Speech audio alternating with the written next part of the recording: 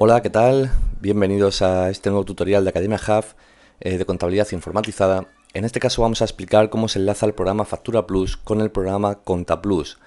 Eh, de esta forma ahorraremos mucho trabajo a la hora de contabilizar las facturas de ventas a clientes o los cobros de esas facturas, eh, etcétera.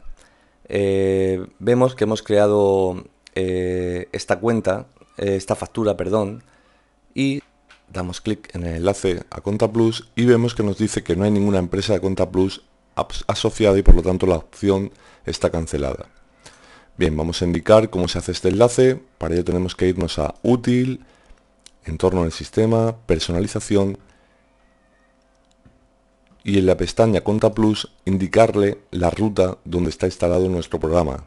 En este caso lo buscamos, lo tenemos en mi PC, disco local D, carpeta grupo SP, vosotros lo tendréis a lo mejor en disco local C o cualquier otra unidad de disco. Lo importante es que localicéis esta carpeta, que es donde se suele instalar el programa. Eh, CEO de Conta Plus, FA de Factura Plus, nos vamos a CEO de Conta Plus y aquí lo tenemos, contaplw.exe, la abrimos. Y ahora, en esta versión 2008, pasa algo gracioso, y es que este campo, que es importante rellenarlo, eh, para llegar a él tenemos que darle a la tecla Tab, al tabulador, y ya nos lo habilita para poder marcarlo. Buscamos la empresa en Conta Plus, donde queremos, en la que queremos que enlace, en este caso Academia Hub,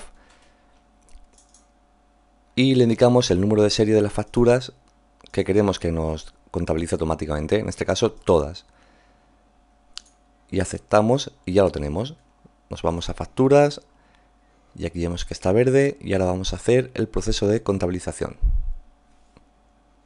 Vamos a contabilizar paso de facturas, aceptamos. y nos da este error, su cuenta con número de dígitos incorrecto. Este es el típico error, el que más quebraderos de cabeza ha causado, creo yo, a los usuarios de Plus y Factura Plus.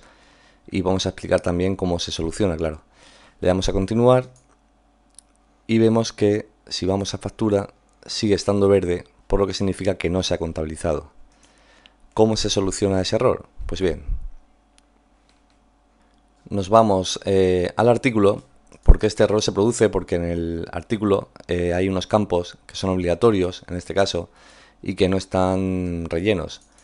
Eh, estamos hablando del el grupo de ventas y el grupo de compra. Es importante que el artículo que hemos creado le indiquemos un grupo de venta. En este caso tenemos creado este grupo, el 0000 ventas. Si no estuviera creado lo podéis crear, el que vosotros queráis. Lo importante es que esté relleno el campo, seleccionamos y en grupo de compras igual. Seleccionamos este, por ejemplo, y aceptamos. Vamos de nuevo a factura, la actualizamos para que se actualice el cambio que hemos hecho. Y bueno, espero que solamente tuvierais creado un artículo y no cientos o miles si tuvierais que hacer este paso en todos, ¿no? Eh, nos vamos ahora al enlace. Ahora comprobamos si pasa o no pasa. Vale, ahora no nos ha emitido ningún error. Nos vamos a la factura y vemos que ya está en rojo, lo que significa que está contabilizada. Vamos a comprobarlo yéndonos al Conta Plus, buscamos el cliente y vemos que Zapatería Lozano presenta un apunte contable, un asiento, una venta por 400 euros masiva, lo que da un saldo deudor de 484. Eh, la venta se ha contabilizado automáticamente, por lo que nos estamos ahorrando un trabajo bastante importante. Esto también vale para otras funciones de Conta Plus, como pueden ser los recibos, el control del cobro de esa factura que hemos creado, la apertura de clientes también la podemos hacer a través de Factura Plus y se automáticamente aparecen en Conta Plus y muchas otras funciones que iremos viendo a lo largo de los distintos tutoriales.